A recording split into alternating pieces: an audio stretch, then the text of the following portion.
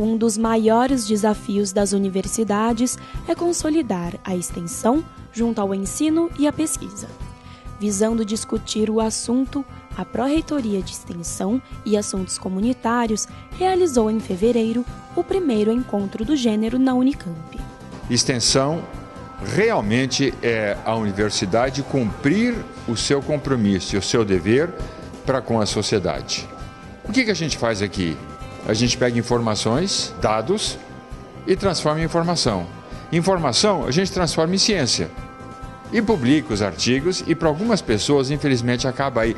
Mas há mais um passo, que é colocar essa, essa ciência a serviço da sociedade. O evento ele nasce de uma percepção de que na universidade existe muita coisa acontecendo em termos de é, projetos e ações de extensão, é, contudo elas não, não estão necessariamente conectadas. Né? Então o evento nasce é, a partir dessa percepção de que é preciso, por um lado, dar mais visibilidade para essas ações e, por outro, pensar na possibilidade de articulá-las com o objetivo de potencializar o resultado delas.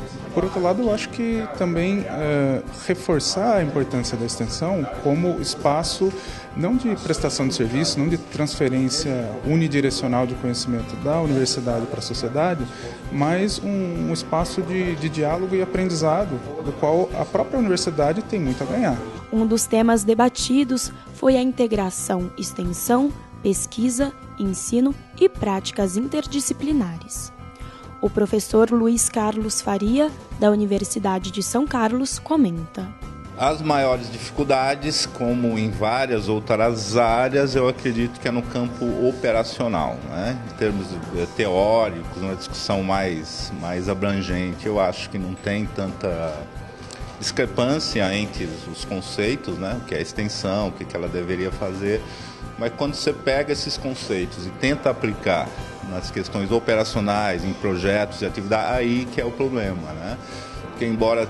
É, a extensão venha sendo discutida há muito tempo, a extensão universitária, eu acho que não chegou um consenso ainda do que seria isso em termos de atividades que a gente tem que fomentar dentro das universidades. Né? Para Valdemar Guissard, as universidades passam por uma mercadorização.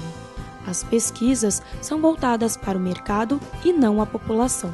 O próprio ensino e principalmente a pesquisa estão sendo vistos como um, um elemento que de valor, uma mercadoria, enfim. De...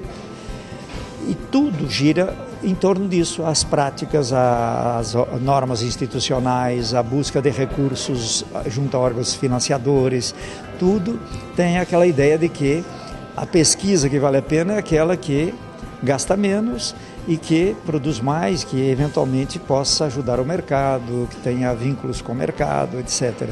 Então a relação, a extensão universitária também por aí começa a se deteriorar.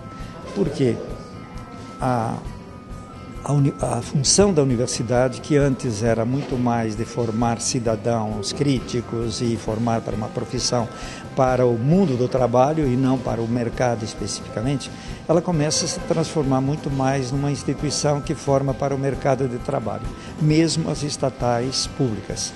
Por isso, mercadorização. Na Unicamp são diversos programas voltados à comunidade, em ambientes dentro e fora do campus.